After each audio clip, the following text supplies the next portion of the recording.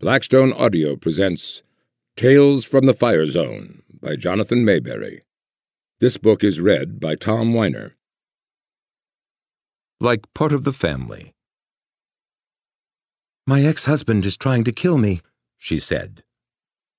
She was one of those cookie cutter East Coast blondes pale skin, pale hair, pale eyes, lots of New Age jewelry, not a lot of curves, and too much perfume. Kind of pretty if you dig the modeling scene heroin chic look, or if you troll the anorexia 12 steps or crack houses looking for easy ass that's so desperate for affection they'll boff you blind for a smile. Not my kind. I like a little more meat on the bone, and a bit more sanity in the eyes. This one came to me on a referral from another client. You actually try? I can tell, Mr. Hunter. Yeah, I thought, and tried not to sigh. What I figured. You call the cops? She shrugged. What's that mean? You call them or not? I called, she said. They said there wasn't anything they could do unless he did something first. Yeah, I said. Can't arrest someone for thinking about something. He threatened me. Anyone hear him make the threat? No. Then it's your word. That's what the police said. She crossed her legs. Her legs were on the thin side of being nice. Probably were nice before drugs or stress or a fractured self image wasted her down to Sally stick figure. Skirt was short, shoes looked expensive. I have three ex wives, and I pay alimony bigger than India's national debt. I know how expensive women's shoes are. I was wearing black sneakers from Payless. Glad I had a desk between me and her.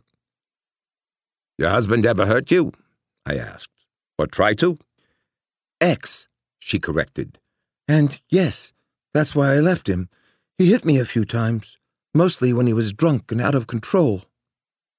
I held up a hand. Don't make excuses for him. He hit you. Being drunk doesn't change the rules.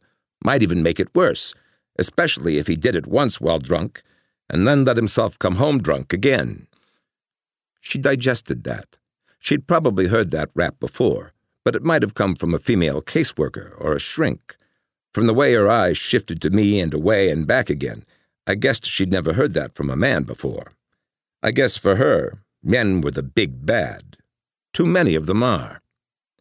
It was ten to five, but it was already dark outside. December snow swirled past the window. It wasn't accumulating, so the snow still looked pretty. Once it started piling up, I hated the shit. My secretary, Mrs. Gilligan, fled at the first flake. Typical Philadelphian. They think the world will come to a screeching halt if there's half an inch on the ground. She's probably at Wegmans stocking up on milk, bread, and toilet paper, the staples of the apocalypse. Me, I grew up in Minneapolis, and out in the cities, we think 20 inches is getting off light. Doesn't mean I don't hate the shit, though. A low annual snowfall is one of the reasons I moved to Philly after I got my PI license. Easier to hunt if you don't have to slog through snow. When he hit you, I said. You report it? No. Not to the cops? No.